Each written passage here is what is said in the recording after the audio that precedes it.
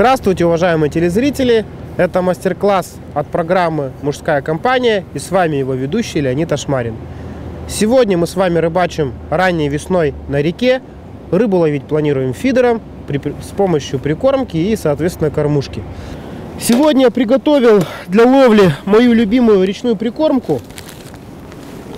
Пользуюсь я прикормками фирмы Sensa с прикормочными смесями.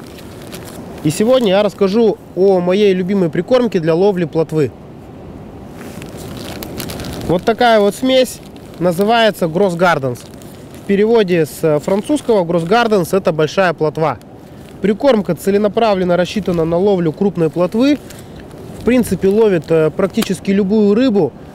Эту прикормочную смесь могу порекомендовать, в принципе, любителям ловли плотвы э, в любое время года. Она очень универсальна она полностью самостоятельна, то есть э, к этой прикормке не, практически не требуется никаких добавок добавлять. Она обладает э, очень ярко выраженной фирменной ароматикой.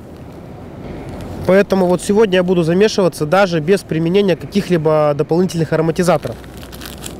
Единственное, чем я сегодня разбавлю мою прикормку, это вот на пакет Гроссгарденса я добавлю примерно пол пакета двухкилограммового прикормки.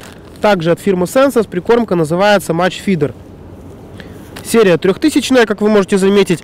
Эта прикормка тоже полностью самостоятельна. Она рассчитана, как э, можно видеть из ее названия, на ловлю фидером. Почему я смешиваю эти две смеси? Я стремлюсь немножко разбавить э, достаточно сильный аромат Гроссгарденса. И, скажем, э, эта смесь, она немножко более тяжелая, чем Гроссгарденс. Хотя Гроссгарденс тоже смесь не совсем легкая. Она среднефракционная, так скажем. А, немножко утяжелить ее, поскольку ловля будет происходить на реке, и, скажем, добавить немножко объема. Замешиваться мы будем на чистой воде без применения каких-либо дополнительных ароматизаторов.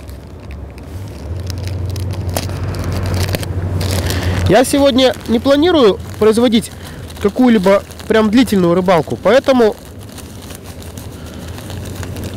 поэтому для ловли вполне считаю, что нам хватит скажем, пакета Гроссгарденса.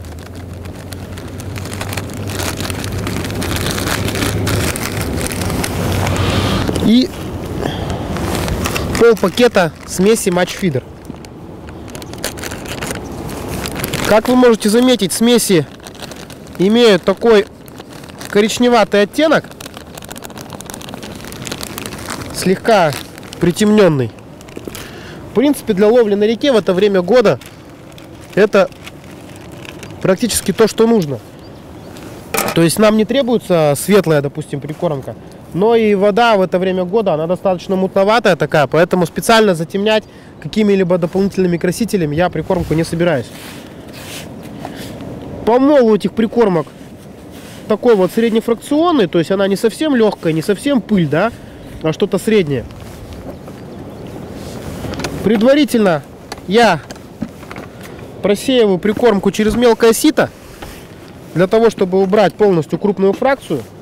Хотя в этой прикормке крупной фракции практически нет, но тем не менее я стараюсь все равно прикормку сделать более однородной. Это позволяет добиться однородности работы прикормки и, соответственно, убрать ненужные вот эти вот крупные частички, которые разрыхляют нашу прикормку. И, собственно говоря, нарушают однородность работы они быстрее всплывают, дольше намокают, скажем так. Поэтому нам они сегодня просто ни к чему.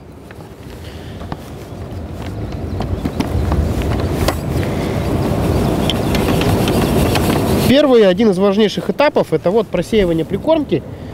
Соответственно, убираем из прикормки крупную лишнюю фракцию. Теперь прикормка подлежит увлажнению. Аккуратно добавляем воду, буквально по чуть-чуть. Постоянно перемешивая прикормку для того, чтобы добиться ее качественного увлажнения. При этом хочу заметить, самое главное, не переувлажнить смесь. То есть нам не нужна чрезмерно, чрезмерно липкая, чрезмерно вязкая смесь, поскольку такая смесь плохо работает. Она просто комом ложится на дно и ее работа практически сводится к нулю. Ну, на такой объем прикормки, скорее всего, хватит примерно 500-700 грамм воды.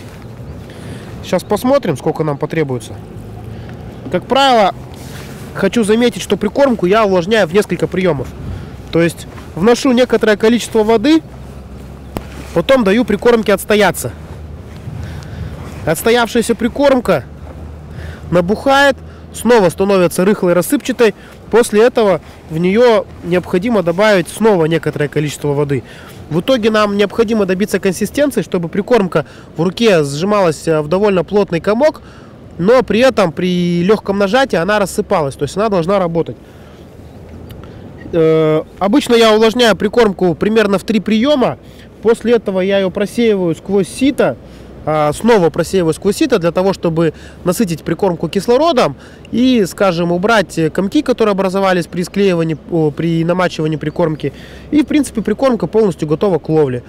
А, такая прикормка мне очень нравится, она отлично работает на реке. А, за это я и люблю прикормочные смеси фирмы Sensus. За то, что они работают даже на водоемах с большим рыболовным прессингом, позволяя добиться прекрасных результатов. Вот так вот постоянно перемешивая, я добиваюсь наиболее максимально равномерного увлажнения. Сейчас наша прикормка будет набухать. После этого я намочу ее еще раз и пробью сквозь сито. После этого она будет уже готова полностью. Это был мастер-класс от э, программы «Мужская компания». С вами был его ведущий Леонид Ашмарин. Я вам рассказывал о прикормке для ловли на реке крупной плотвы. Э, подписывайтесь на наш канал, смотрите наши видео. До встречи на рыбалках. Пока!